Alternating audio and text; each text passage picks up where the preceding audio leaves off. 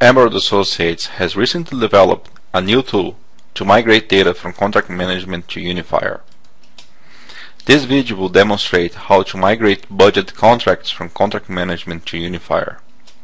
Here we see the PCM budget contract and its line item. This line item is distributed to multiple cost codes which were migrated earlier. To migrate the budget, I will use the migration tool. First, I perform the logging. This is the tool interface. The budget migration is one of the migration modules. I enter the migration configuration. First the record number, PCM project and then the Unifier project. Then I click the migrate button. After a few seconds the migration is completed.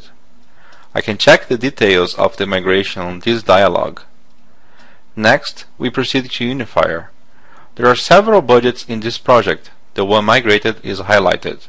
The budget has been approved by the migration tool, but this is a configurable option. We can see the budget details and the line items. In Unifier, each line item can only have one cost code. The tool creates multiple Unifier line items, one for each cost codes, from the distributed values in PCM.